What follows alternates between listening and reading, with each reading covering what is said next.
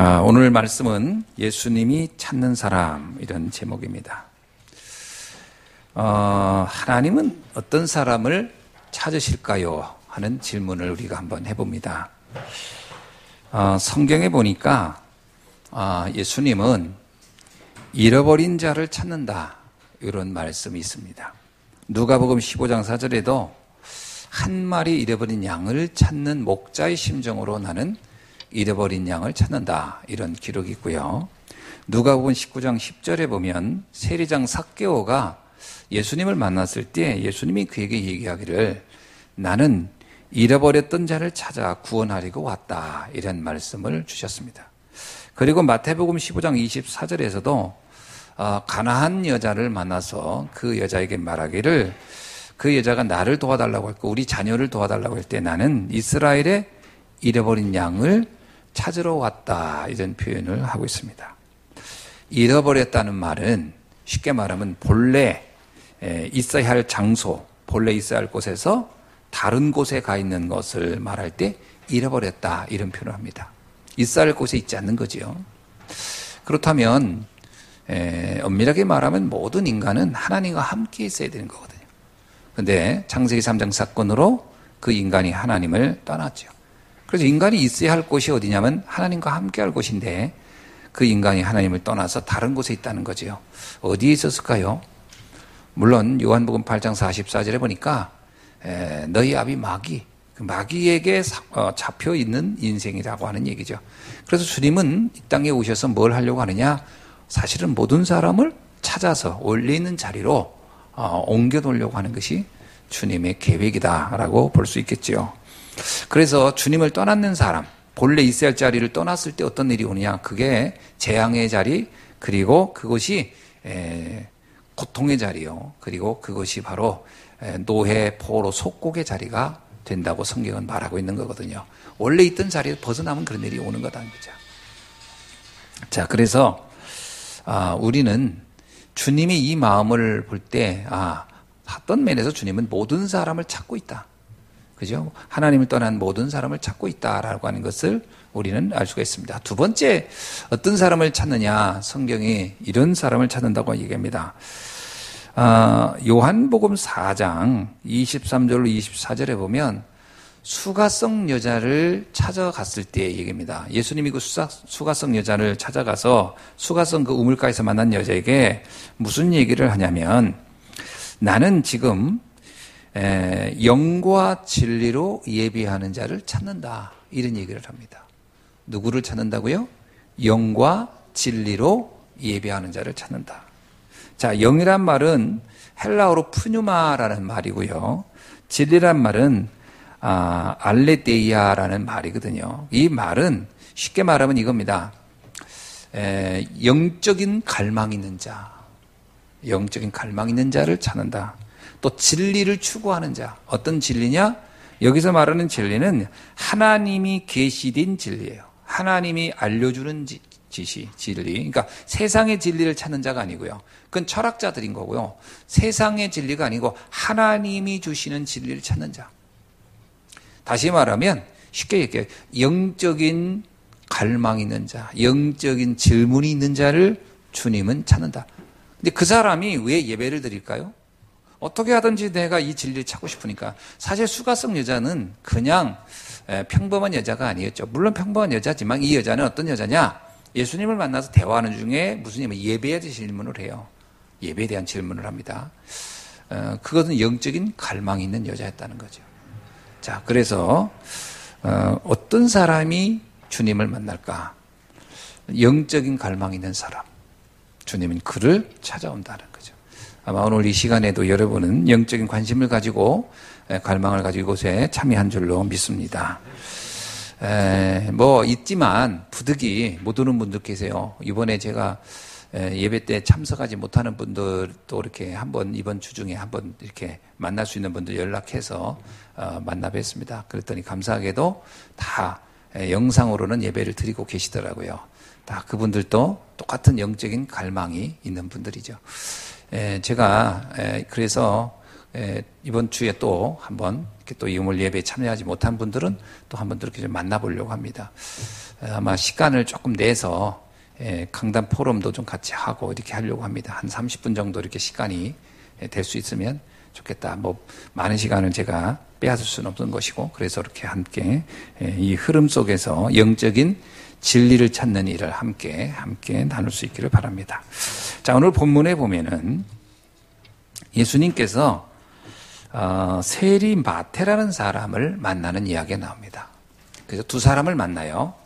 세리 마테를 만나고 그리고 바리새인을 만납니다. 자 여기서 우리가 이 두 사람을 중심으로 한번 몇 가지를 한번 살펴보려고 합니다. 자 세리 마테는 우리가 알고 있듯이 그는 세리장 세리하는 세리하는 사람입니다. 세리가 뭐죠? 세금 걷는 사람이에요. 자, 근데 이 세리 세금을 걷는 이 사람이 그때 당시에는 사람들에게 경멸의 대상이었습니다. 왜냐하면 식민지 국가였기 때문에 로마가 이스라엘을 다스리고 있었고요. 이스라엘 사람들의 모든 수입의 세금은 누가 가져갔느냐? 바로 로마가 가져갔어요. 그러면 이 마태는 어떤 사람이냐? 로마에 고용되어 있는 하급 관리였습니다. 본인은 유대인이었지만 유대인들한테 세금을 걷어서 로마에다가 상납하는 사람이었어요. 그걸 위해서 세워진 사람이 이 마태였습니다. 근데 이 세리들은 워낙 이 늘 세금이 부족했어요. 그죠? 여러분 생각해 보세요. 세금을 걷는 사람은 인구 수대로 다 거들으라고 하죠. 내는 사람은요. 형편이 되면 내지만 안 되는 사람 못 내요. 그러니까 늘 세금은 딸리게 돼 있는 거예요. 부족하게 돼 있어요. 세수는 넘치는 경우가 없어요. 그러면 어떻게 되죠? 세수가 부족하면요. 이 세리들의 사례비가 제대로 줄 리가 없지요. 로마인들은 네가 세금을 제대로 안 걷었기 때문에 난널줄 수 없어.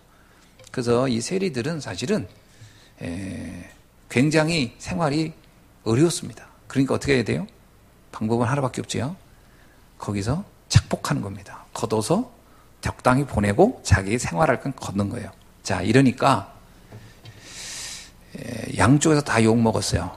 로마에서는 제대로 일을 못 한다고 비난을 받고 유대인들은요. 유대인 돈을 받아서 로마한테 준다고 욕을 먹고 거기다가 또 자기가 중간에 띄어먹어요. 그래서 이 세리는 그때 당시 유대인들이 누구하고 비등하게 대우를 했냐면 창녀하고 같다고 생각했어요. 너희는 이 우리 민족의 창녀다. 우리 민족을 음, 팔아먹는 창녀다. 이렇게 표현을 했어요. 그래서 세리들은 굉장히 모멸당하고 경멸의 대상이었습니다. 자, 그게 바로 마태였어요. 어, 근데 이 마태는 그러한 경멸을 억울하다 생각하지 않았습니다. 사실은 오늘 본문을 보면 참 재미난 표현이 나와요. 9절, 10절을 읽어보세요. 이 마태복음은 누가 쓴 거죠? 마태가 쓴 거예요. 이 세리 마태가 쓴 거예요. 근데 이 9절, 10절을 보면 자기 이야기인데 자기를 기록하는 게 아니라 마치 삼자를 기록하듯이 썼어요. 남 이야기 하듯이. 여기 보세요. 예수께서 그곳을 떠나 가시다가 나를 세관에 앉아 있는데 나를 부르셨다. 이렇게 써야 되잖아요. 뭐라고 하냐면 마테라 하는 사람이 세관에 앉아 있는 것을 보시고 이르시되 나를 따르라 하시니 일어나 따르니라. 예수께서 마테이 집에 가서 우리 집에 가서 이래야 되거든요. 근데 마테이 집에 가서 앉아 음식을 잡수실 때에 많은 세리와 죄인들이 와서 예수와 그의 제자들과 함께 앉았더라. 이 마태가요, 자기도 죄수고, 자기도 죄인이고, 또 다른 죄인들이 다 함께 했었다. 그러니까 자기를 지금 뭐라고 보면 나도 죄인이었다. 음. 자기를 죄인이 아니다 이렇게 하지 않습니다. 죄인이었고 그 다음에 바리새인들이 보고 그의 제자들에게 이르되 어찌하여 너희 선생은 세리와 죄인들과 함께 잡수시느냐. 사실은 이 마태는 자신이 유대인들한테 그 사회적으로도 죄인이라고 그렇게 여김을 받고 있다는 거 알고 있고 또 영적으로도 자기는 죄인이라는 것을 알고 있었어요. 그래서 자신이 죄인이라는 사실을 부끄러워하는 게 아니라 나는 죄인이구나. 이것을 아주 인정했던 사람이에요.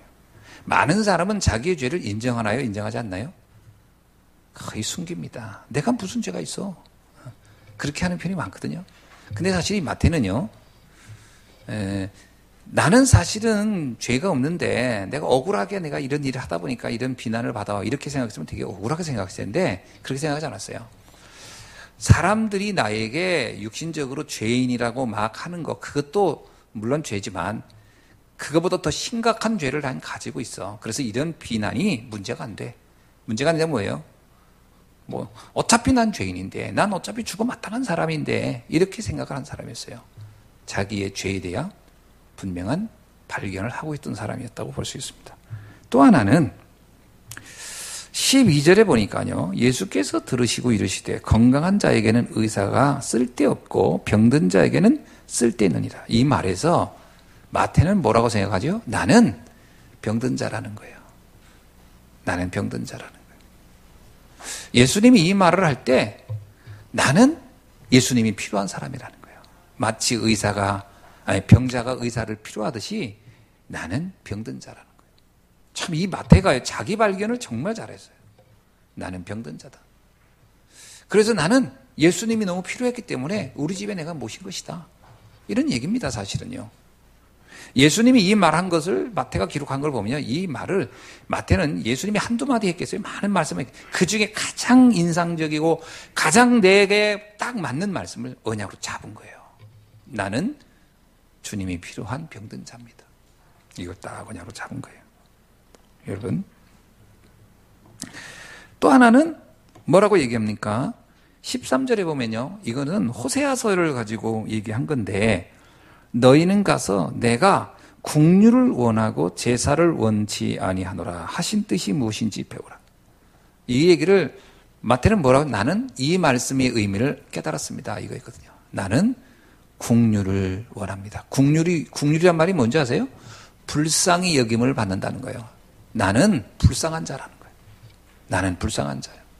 나는 하나님의 은혜가 필요한 자예요. 어. 그렇게 얘기를 하고 있는 거예요. 그러면서 뭐라고 합니까? 나는 의인을 부르러 온 것이 아니요 죄인을 부르러 왔노라 할 때 여기에 마태는 바로 내가 죄인이기 때문에 주님이 나를 부르러 왔습니다. 이렇게 자기 발견을 한 거죠. 참 놀랍죠? 우리가 신앙생활 하면서 나를 발견한다는 게그 의외로 쉽지 않습니다. 대부분 자기를 숨기거든요. 여기 마태는 자기가 어떤 상태에 있는지를 너무 잘 알고 있었어요. 나는 병든 자고 나는 하나님의 국률이 필요한 자요. 하나님이 나를 불쌍히 여겨주지 않으면 안 될 사람이요. 그건 단순히 그 직업 때문에 사람들한테 받는 경멸, 그것 때문에 하는 표현은 아닙니다. 근원적인 영적인 상태를 마태는 알고 있었다는 거죠. 자, 여기에 비해서 또 한 사람이 나타납니다. 그게 누구냐? 바리새인이에요. 여기 바리새인은 이러한 마태와 예수님과의 만남을 보면서 이들은 정말 못마땅했어요. 아니, 아니, 어떻게 해서 저 창녀 수준, 다시 말하면 이 민족의 반역자, 민족의 반역자의 집에 가서 어떻게 저렇게 예수님이 같이 그들과 웃으면서 밥을 먹을 수 있냐. 이건 도저히 용납이 안 된다라고 생각한 게 바리새인들이었어요. 자, 근데 이 바리새인들은 속으로 바리새인들이 막 예수님을 비난하지 않습니까? 여기에 11절에 보면요. 그때 당시 바리새인들이 어떻게 행동했는지를 잘 기록되어 있는 거거든요. 자, 이때 바리새인에 대한 표현입니다. 예수님이 어떻게 표현하냐면 여기 본문에 보니까 예수님이 바리새인들을 가리켜서 그들은 스스로 건강하다고 여기고 있구나라는 거예요. 네, 그 사람들은 자기들은 건강해요. 무슨 얘기예요? 건강하다는 얘기면 난 아무 문제 없어요. 바리새인들의 가장 큰 문제는 그들이 자신들이 문제가 없다고 여기고 있다는 거예요. 여러분 그러니까 의사가 필요 없듯이 그들에겐 더 이상 그리스도가 필요 없는 거예요. 왜 그랬을까요? 왜 그들은 그리스도가 필요 없다고 여겼을까요? 여기서 말하는 이 건강하단 말은 뭐지요? 이건 단순히 육신적으로 건강하다 이런 말을 하는 건 아니에요. 이든 자신이 아무 문제가 없다고 여겼다는데 사실 인간이 어떻게 아무 문제가 없습니까? 여기서 이 건강이라는 의미는요, 굉장히 의미가 있는 얘기인데 뭐냐면 창세기 3장에 근거한 생각이에요. 내 인생 문제, 난 내가 노력해서 해결할 수 있어. 여러분, 내가 내 인생 문제를 해결할 수 있다면 그 누구에게 도움을 필요할 필요가 없는 거거든요. 그거를 예수님은 빗대어서 아, 네가 스스로 건강하다 가는구나. 여러분, 나는 의사가 필요 없어. 난 내 몸 내가 다 알아서 관리할 수 있어. 그런 사람은 의사 안 찾아갑니다. 아파? 수술 내가 하면 되지 뭐. 꼬매면 되고. 뭐 내가 다 하면 되는데 뭐. 그런 사람은 의사 안 찾아가겠죠? 마찬가지예요. 예수님이 볼 때 이들은 뭐라고 생각하냐면 창세기 3장에 거기에 딱 잡히는 사람. 내 인생은 내가 내 운명의 주인은 나, 다 보통 이렇게 생각 많이 하거든. 내 운명의 주인은 나다.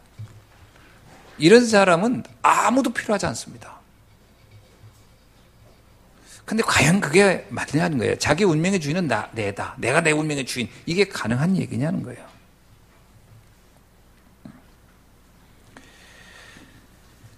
여러분 그 알고 있듯이 요한복음 3장 1절로 15절에 보면 바리새인인 니고데모가 나와요. 그죠? 이 니고데모. 이 사람이 바리새인인데요. 바리새인 니고데모가 왜 아무도 없는 밤에 예수님을 찾아왔을까요? 자기 운명, 자기 인생의 주인이 나라고 생각을 하는 것 자체가 한계가 있다는 걸 알고 찾아온 거거든요. 바리새인인데. 그러니까 엄밀하게 말하면 난 건강한 사람이야 하지만 그것은 실상은 뭐예요? 자기를 속이고 있는 거예요.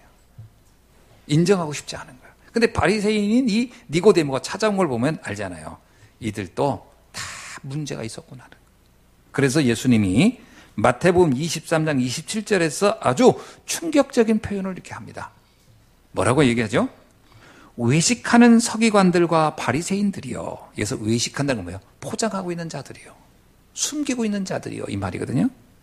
너희는 회칠한 무덤과 같구나. 겉으로는 아름답게 보이나 겉으로는 내 건강한 것처럼 난 아무것도 필요한 게 없어. 나는 막 완벽해. 내가 노력하면 다 인생 인생 문제 난 다 내가 노력해서 해결할 수 있어 라고 하지만 그 안은 너의 진짜 속사람은 어떠냐? 죽은 사람이며 뼈와 모든 더러운 것이 가득하구나. 그러니까 속으로는 한없이 원망하고 불평하고 탓하고 이러고 있으면서 겉으로는 안 그런 척하고 있구나. 이게 바리새인들을 향한. 그래서 이들을 뭐라고요? 예수님이 진짜 너희가 병 들었는데 진짜 병은 너희들이 들었는데 병 들지 않았다고 자기를 속이고 있구나 이 말이거든요. 근데 그 주님은 이거를 아주 좀 이렇게 에, 뭐 역설적인 표현이라고 할까요? 아 건강, 너희들 건강해, 너희들 건강해. 예. 이게 예수님이 건강하다고 인정한 게 아니라 스스로 니들이 건강하다고 하는구나. 이 말이거든요. 그러나 병들어 있어. 그 말이거든요. 두 번째는 뭐냐? 13절에 보니까 나는 국류를 원하고 제사를 원치 아니하노라. 이 말이 바리새인 놓고 한 얘기예요. 그러니까 이들은 뭐예요? 그들은 제사를 굉장히 신봉하고 있다는 거예요. 제사. 제사가 뭐예요? 여러분 형식이거든요. 형식. 외형적인 겁니다. 그리고 한마디면 종교적인 거예요. 종교적인 태도가 신앙의 절대 기준인 것처럼 여기고 있다. 어떻습니까? 이 바리새인들은 이런 종교 생활이 몸에 아주 배했어요. 이게 그냥 각인뿔이 체질됐어요. 그러니까 어, 자기들이 이렇게 뭐 번제산을 드리고 유월절을 지키고 그러면 아 난 다 됐어. 이거로 이거로 이제 쉽게 말하면 이제 속된 말로 퉁치는 거예요. 이거로 그냥 쌤쌤이야. 내가 했으니까 난 더 이상 뭐 다른 게 필요하지 않아. 이게 가능한 얘기입니까? 히브리서 10장 1절에 이런 얘기했거든요. 율법은 장차 올 좋은 일의 그림자일 뿐이요. 참 형상이 아니니라. 율법은 그냥 그림자일 뿐이에요. 그림자. 본질을 비춰주는 하나의 그림자일 뿐인데 이것을 본질로 착각하고 있구나. 참 이게 얼마나 어리석은 겁니까? 텔레비전에 나오는 음식은요, 그냥 그림일 뿐이지 그게 날 배부르게 할 수 없잖아요. 그죠? 그래서 TV 보면서 아무리 이 침을 흘려오세요. 배불러지나. 똑같아요. 이 그림자 보고 아무리 내가 막 이거 뭐 대단해 해도 그건 그림자일 뿐이에요. 실체가 아닌 거예요. 내 인생에 0.001%도 영향을 줄 수 없는 것들인데 이 바리새인들은 이런 착각을 하는 거예요. 오늘날에도 맞습니다. 사실은 그냥 신앙의 그 본질은 다 잃어버리고 형식만 붙잡고서 막 그거 놓고 신앙생활을 하는 것 같고 그것이 나의 모든 인생 문제를 해결할 것 같이 생각한다면 그야말로 불쌍한 거거든요. 근데 이런 사람들이 굉장히 많다라고 하는 거죠. 자칫 잘못하면요, 뭐 그냥 내가 교회에 등록한 것만으로도, 출석한 것만으로, 또 어떤 경우는 뭐 세례를 받은 것만으로도, 아, 내가 직분을 가진 것만으로도 뭐 이미 난 신앙생활 다 된 것처럼 한다면 이거야말로 제사를 신앙의 핵심으로 붙잡는 사람들과 다를 바가 없는 거죠. 내용이 없는 거예요. 그래서 호세아서 6장 6절에 뭐라고 나오죠? 이거 호세아서를 갖다가 예수님이 인용한 거거든요.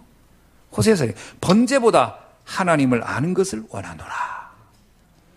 그 얘기는 뭐예요? 성경은 알지만, 그러니까 바리새인들은요 성경은 참 잘 알았어요. 성경은 알지만 성경이 말하는 핵심은 하나도 모르고 있었다라는 거죠. 성경의 핵심이 뭡니까?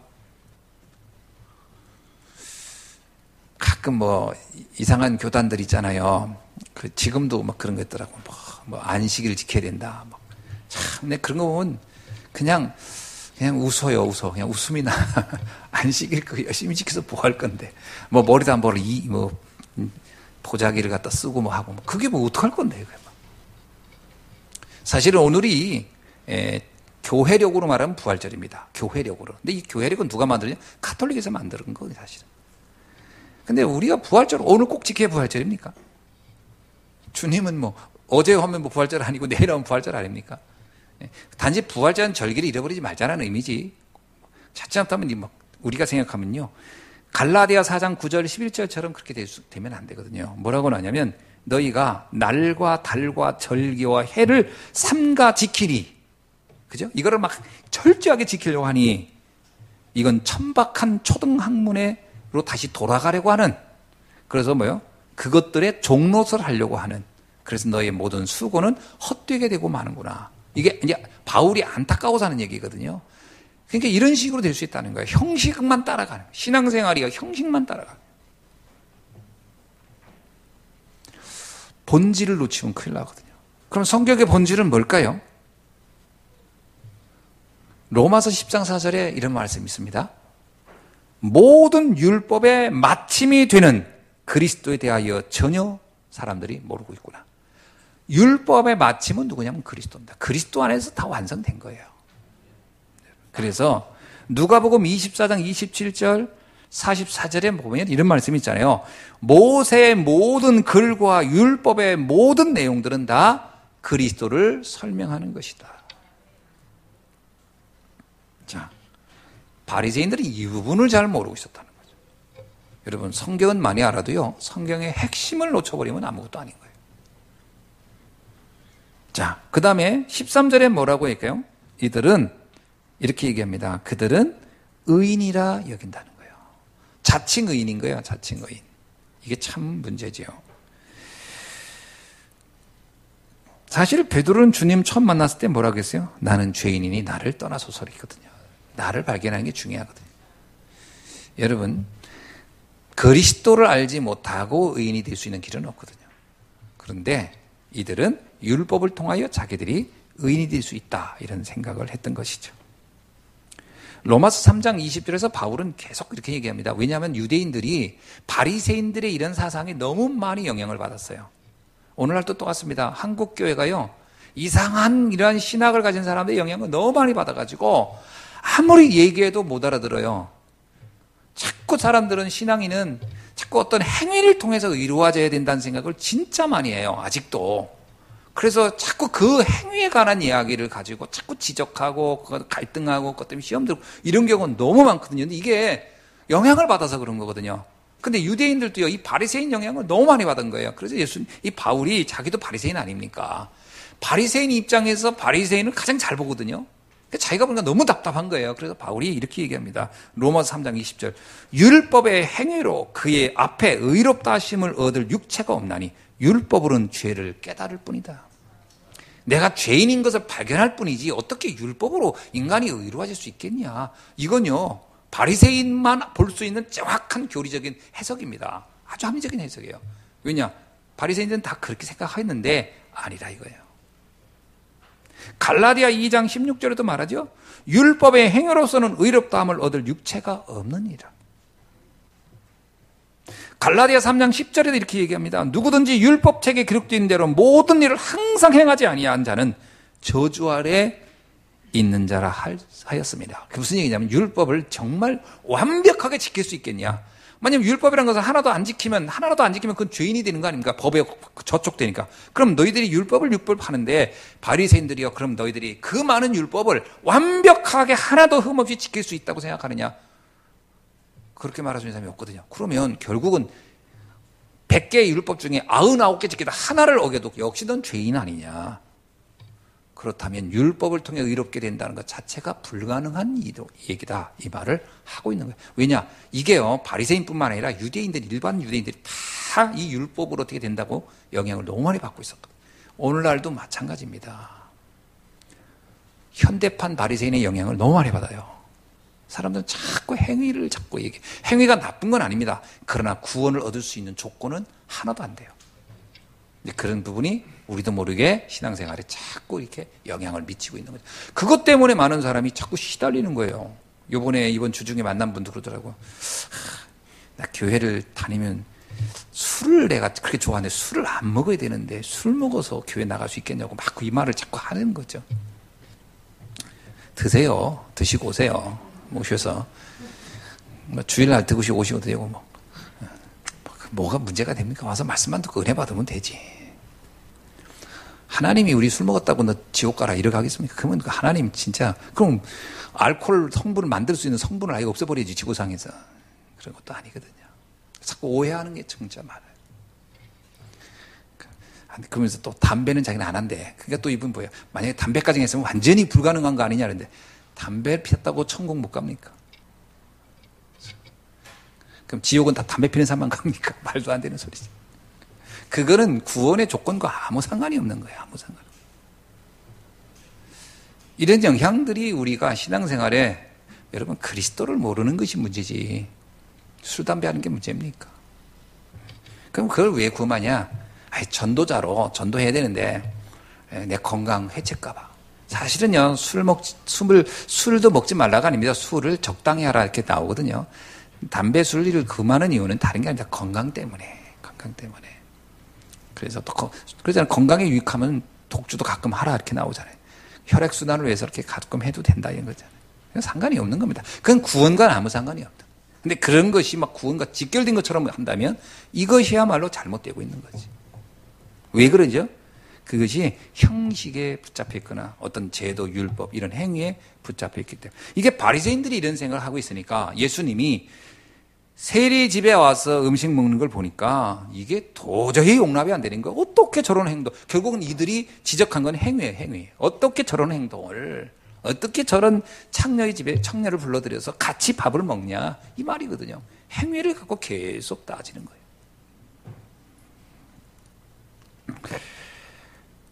자, 성경에 보면 예수님이 음, 제자로 부른 사람들이 대표적으로 세 명이 있어요. 한 사람은 어부 베드로, 또 한 사람은 오늘 세리 마태, 그리고 또 한 사람은 바리새인이었던 바울입니다. 자, 이 세 사람이 공통점이 있어요. 베드로는 어떤 사람입니까? 누가 보면 5장 1절로 11절에 보면 그는 밤새 고기를 잡았는데 어부예요. 평생을 어부로 살았던 전문가예요. 고기 잡는 전문가인데 고기를 못 잡았어요. 그것은 단순히 고기를 못 잡았다는 얘기가 아니라 자기 인생의 수고와 노력이 내가 아무리 몸부림을 쳐도 될 수 있는 게 별로 없구나. 한계를 느꼈다는 거예요. 자신의 한계를 발견할 때 주님을 만날 수가 있습니다. 그래서 8절에 보니까 주여 나를 떠나소서 나는 죄인입니다. 자신이 어떤 상태에 있다는 것을 잘 알았죠. 이런 사람을 만나는 겁니다. 두 번째는 마태 세리입니다. 이, 이, 이 세리 마태도 마찬가지예요. 자신이 병든 자요, 죄인이요, 자신이 하나님의 긍휼이 없이는 안 된다고 하는 것을 알았던 사람이고요. 또 바리새인 바울도 마찬가지입니다. 바울은 굉장한 그 똑똑한 사람이고 지식인이었고 아주 경제가 있는 사람인데 바리새인이기 때문에 주님이 안 만나는 게 아닙니다. 그죠? 세리니까 만나고 바리새인이 안 만나고 이건 아니에요. 그건 직업을 가지고 주님이 구분하는 건 아니에요. 문제는 뭐냐면 영적 상태를 말하는 거예요. 근데 바리새인이었지만 바울은 어땠죠? 그는 로마서 에 보면 이런 표현을 합니다. 7장 24절에 나는 오호라 권고한 자로다. 자신은 바리새인이고 율법주의 율법에 대해서 굉장히 철저한 사람인데 자신의 한계를 알겠다는 거예요. 자기는 더 이상 내 노력으로 내 인생 문제 해결이 안 된다는 거예요.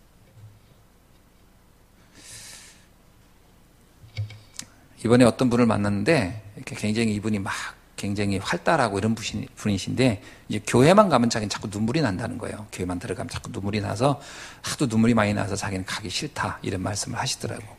그 제가 이렇게 가만히 보니까 굉장히 활달하고 막 적극적이고 막 그런 분이에요. 막 운동 좋아하고. 근데 왜 교회 오면 눈물이 나는지 모르겠다. 눈물은 세 가지가 있다고 얘기를 해드렸어요. 하나는 기뻐서 울 때 있고 슬퍼서 울 때 있고 서러워서 울 때가 있다. 근데 아마 어, 우리 예, 그 아주머니는 서러워서 울을 거다. 아, 왜 내 교회 가면 왜 서러울까요?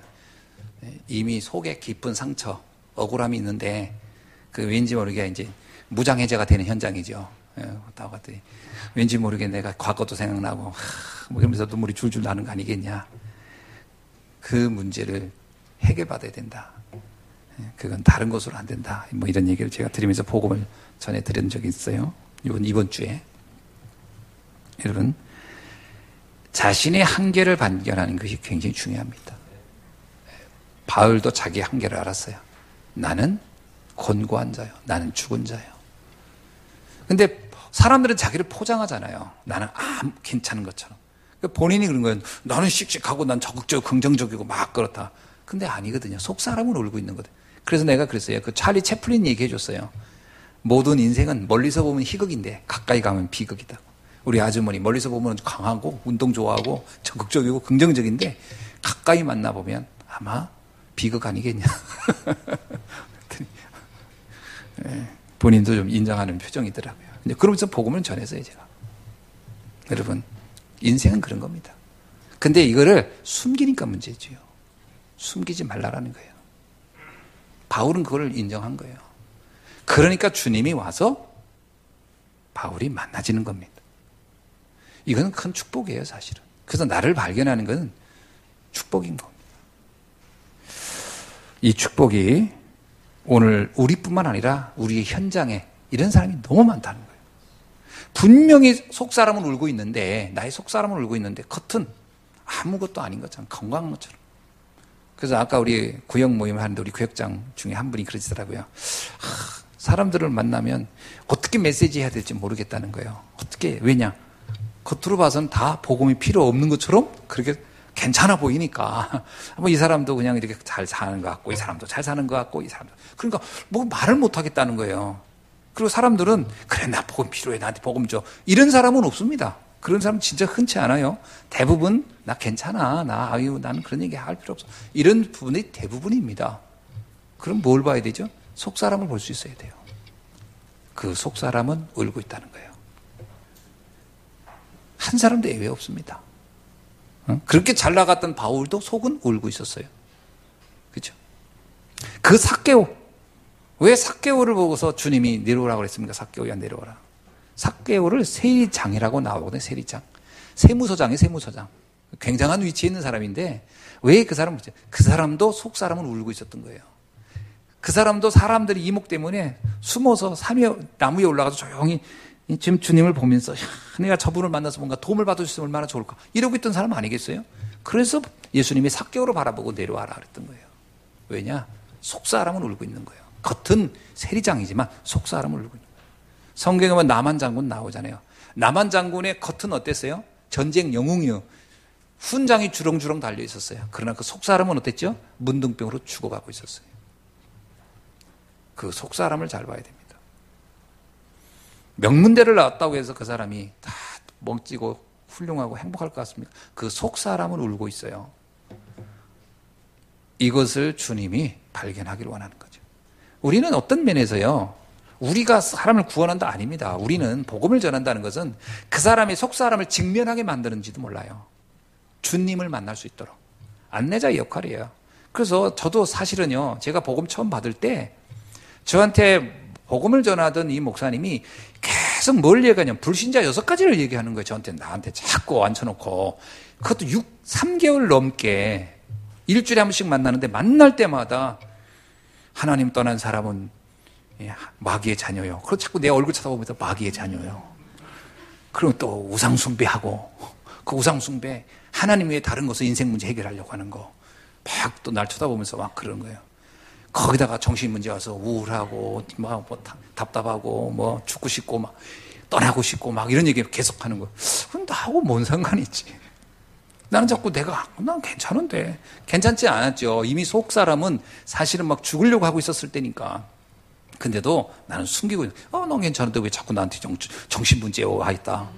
그다음에 육신 문제 올 거다. 막 이런 얘기 하고요. 그다음에 이게 후대에게 넘어갈 것이고 영원한 지옥에 갈 것.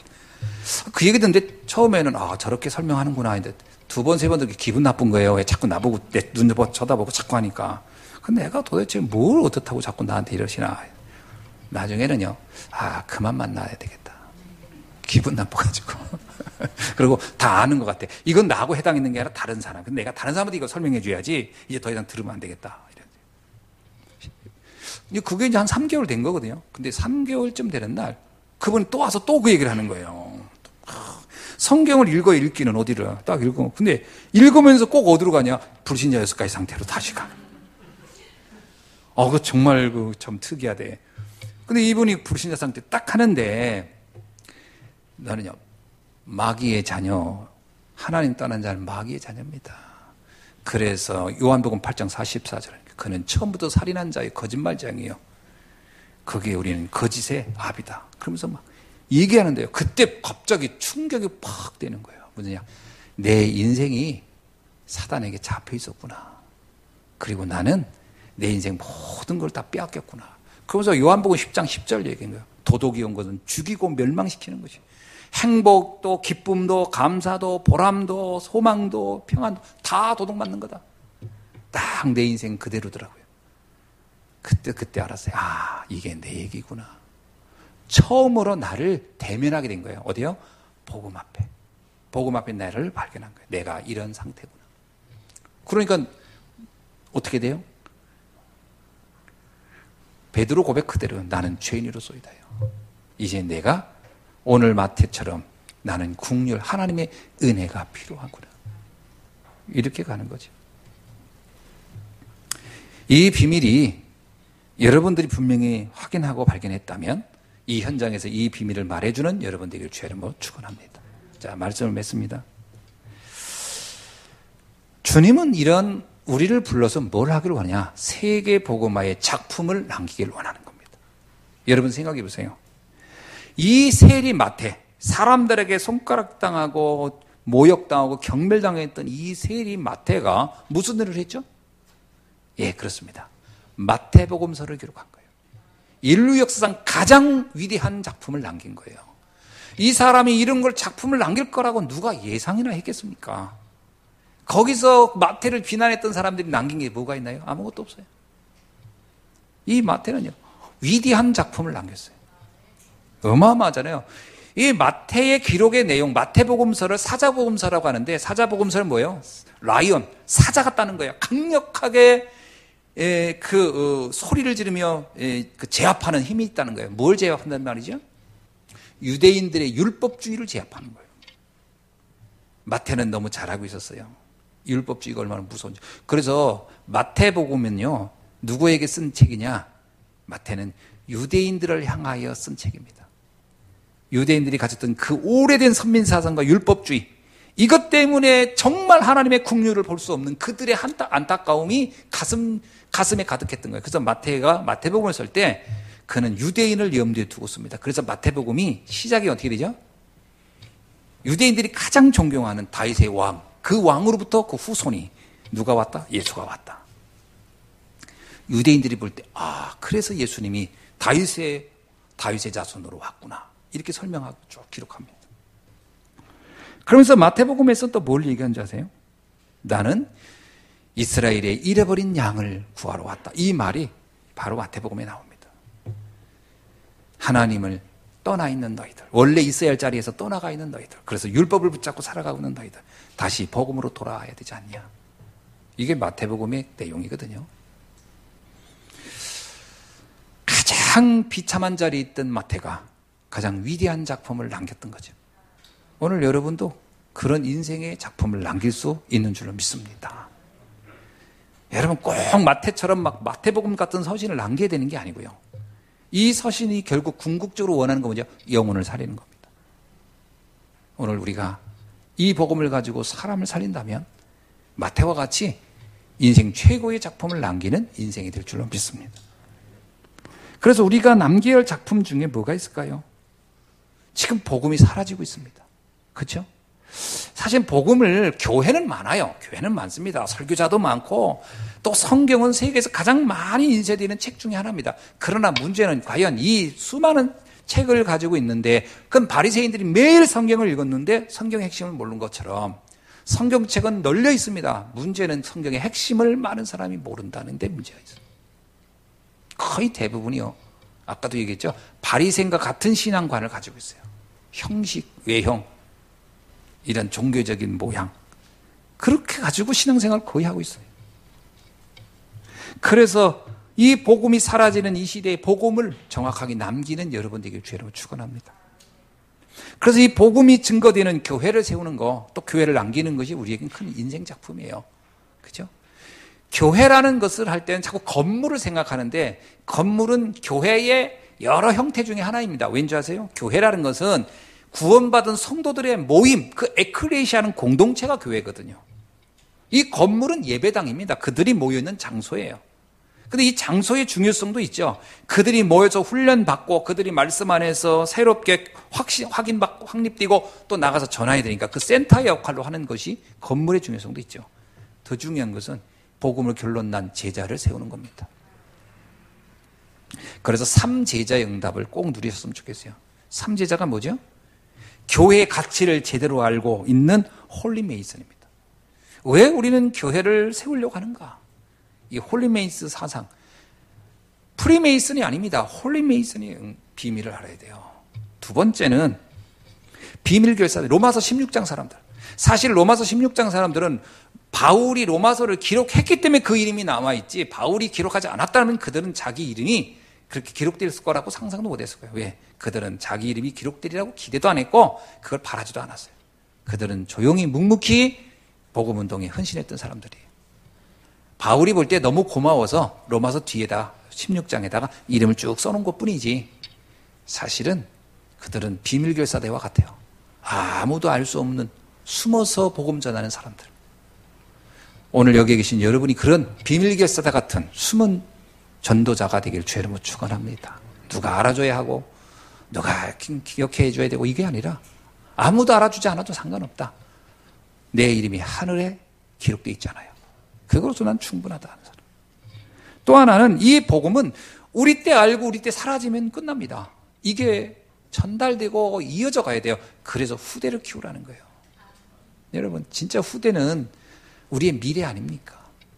그런데 무조건 미래인데 어떻게 미래를 남겨야 됩니까? 정확한 복음을 누리고 살 수 있는 또 복음을 또 다른 충성된 자에게 디모데후서 2장 1절에 2절 2절 3절에 있는 말씀대로 충성된 자들에게 이것을 또 말할 수 있는 제자 복음 제자를 세워 놔야 되겠죠. Remnant Ministry 응답을 우리는 받아야 되겠습니다. 뭐 그것 때문에 이제 미션홈도 하려고 하고 또 뭐 학사도 하려고 하고 또 RUTC도 하려고 하고 그런 게 다 아닙니까? 그거 아닙니까? 후대를 어떻게 키울까 하는 것들. 우리 교회도 이제 미션홈을 하고 있는데 지금 이게 방학 때다가 또 여기 코로나 문제로 유지하는데 우리 이화경 고사님 얘기 들으니까 좀 조금 어려움이 있더라고요. 이건 놓고 여러분 같이 기도하면서 이게 잘 유지될 수 있도록. 예. 이게 문 닫혀지면 안 되거든요. 저는 계속 미션홈이 두 개, 세 개 계속 만들어져야지 이게 축소되면 안 되거든요. 음. 그게 우리 후대 키우는 우리의 언약 아니겠습니까? 그러면서 237 나라 살리는 전도 제자 찾는. 그래서 아까 우리 그 여기백 권사님 기도했는데 300명 영접 운동하는 거 있죠? 꼭 기억하십시오. 복음 들을 사람 반드시 있어요. 지금은 영상 시대예요. 영상 시대이기 때문에 여러분 뭐 유튜브나 이런 걸 통해서 전도하는데 유용하게 한번 활용해 보세요. 복음 필요한 사람 있으면 좀 전해 주기도 하고. 그죠? 이번에 어떤 작가가 그러더라고요. 요즘 작가들의 가장 큰 고민은 사실은요, 이 스마트폰을 끊는 거래요. 만약에 글을 쓰다 생각이 안 나가지고 스마트폰으로 이렇게 해서 아, 이게 뭐지? 하고 찾잖아요. 그러면 그것으로 끝이래요. 왜? 그 다음에 연줄 연줄 또 들어가고 또 들어. 나중에는요, 자기가 무슨 글을 쓰려고 했는지 그 테마 자체를 잃어버린대요. 그래가지고 요즘 작가들은 뭐냐면 완전히 그 통신이 안 되는 데를 찾아가서 어? 찾아가서 글을 쓰는 거래요. 그러지 않고는 안 된대. 이 스마트폰이 작가들의 영혼을 작품상 작품도 못 만들게 만든다는 거예요. 근데 오늘 아줌마들 하루에 몇 시간씩 합니까? 하루에 거의 뭐 스마트폰과 나는 혼연일체요. 하나의 하나. 폰과 나. 폰 없는 인생은 상상할 수가 없는 거예요. 그러면 그것을 부정적으로 말할 게 아니라 이제 긍정적으로 활용할 수 있도록 그것을 통해서 메시지가 전달될 수 있도록 한번 해보세요.